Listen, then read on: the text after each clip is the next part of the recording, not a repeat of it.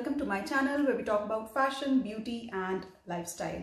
So currently we are going through the transitional weather of spring where we feel warm and cold both at the same times. You know, I like to call this weather the confusing weather because we get confused as to whether we should be wearing warm clothes or we should be wearing the summer clothes. So today I have come up with some styles and I have smartly layered my pieces together to create the perfect spring looks. So let's quickly get started.